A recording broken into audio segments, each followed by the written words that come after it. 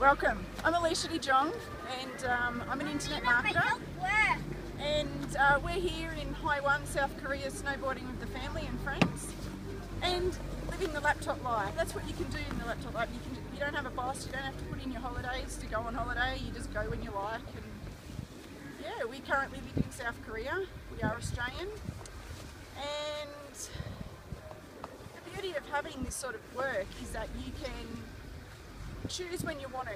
You know, there's so many different types of people in this industry where you can, you know, people are here for many reasons, whether they want to pay off credit card debt or whether they're retired and they want to earn more money, more income. Um, I'm, I'm in the business because I want to, well, I live overseas and I want something more to do. It's a great way to earn money and I can take it wherever I am.